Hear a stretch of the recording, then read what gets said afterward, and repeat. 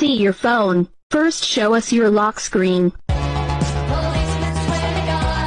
Now home screen. Man.